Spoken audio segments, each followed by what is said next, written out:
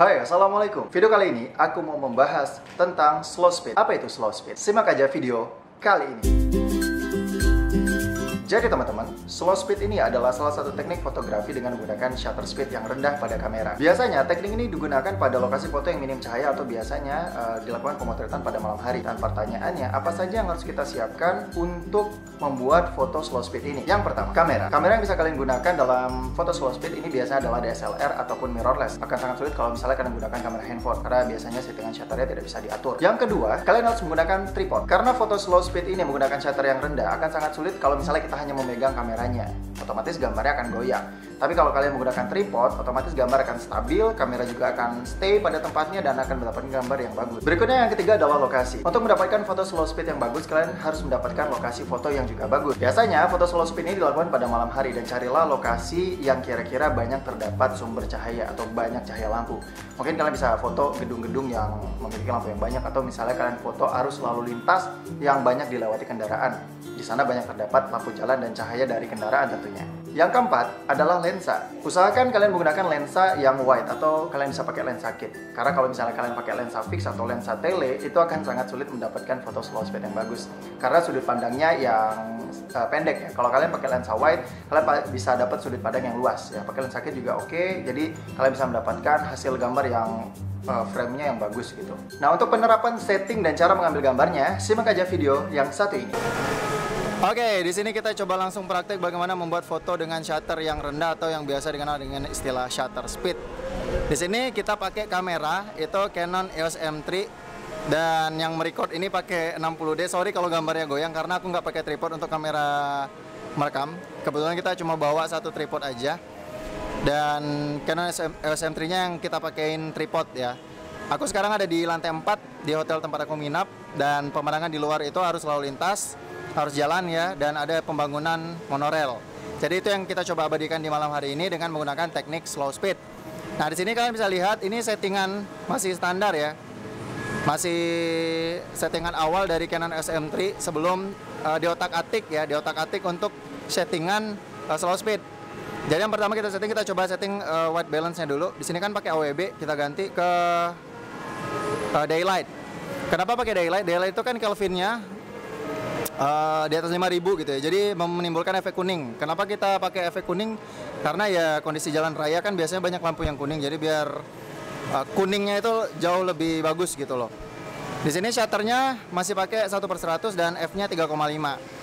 Nah untuk uh, slow speed, pertama kita coba atur F-nya atau aperture, kita coba naikkan, kita coba start di F16. Oke, kita coba start di F16, ISO-nya masih tetap 100. Kemudian shutternya kita turunkan.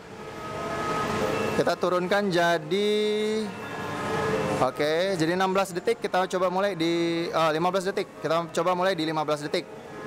Oke, shutter 15 detik, F-nya 16, ISO 100, kemudian white balance-nya pakai daylight. Kita coba jepret. Dan oh ya, satu lagi, kalau bisa kita aktifkan timernya. Kita coba pakai di timer 2 detik supaya menghilangkan goncangan saat kita nekan shutter. Sudah pas, kita coba langsung jepret.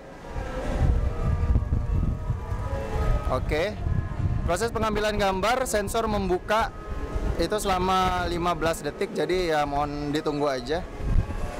Mohon maaf kalau gambarnya gelap, karena memang kondisi di luar ruangan, nggak ada cahaya, kecuali cahaya lampu jalan. Oke, seperti itu. Itu posisi yang tadi, settingan yang tadi, kalian bisa lihat. Ah, itu settingannya. Shutternya 15, f16, kemudian ISO 100, hasil gambarnya seperti itu.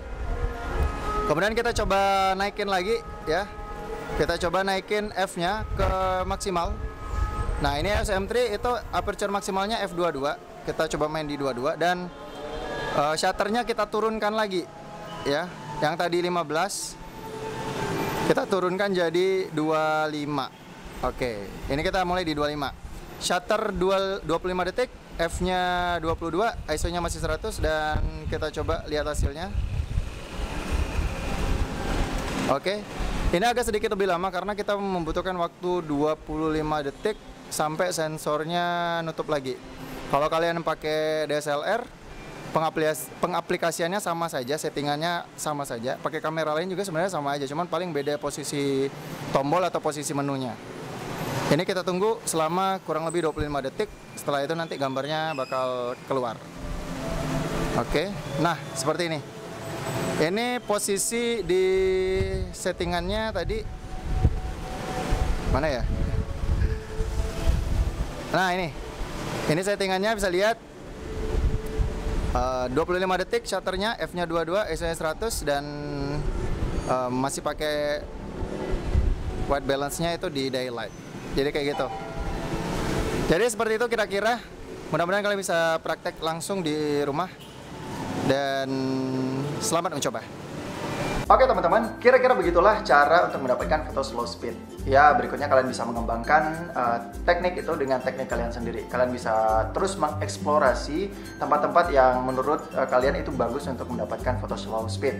Mungkin kalian juga bisa memotret kembang api dengan cara yang sama, atau kalian memotret ya aktivitas uh, di luar ruangan yang bisa dikatakan banyak gerak lampunya dan itu kalian bisa mendapatkan hasil yang juga bagus nantinya. Oke, sekian dulu video kali ini. Terima kasih untuk yang sudah nonton dan jangan lupa klik like, kemudian komen dan share video ini supaya teman-teman kalian juga bisa tahu. Jangan lupa subscribe supaya tidak ketinggalan updatean video selanjutnya. Saya Andika Nugraha. Saya wassalam dan sampai jumpa.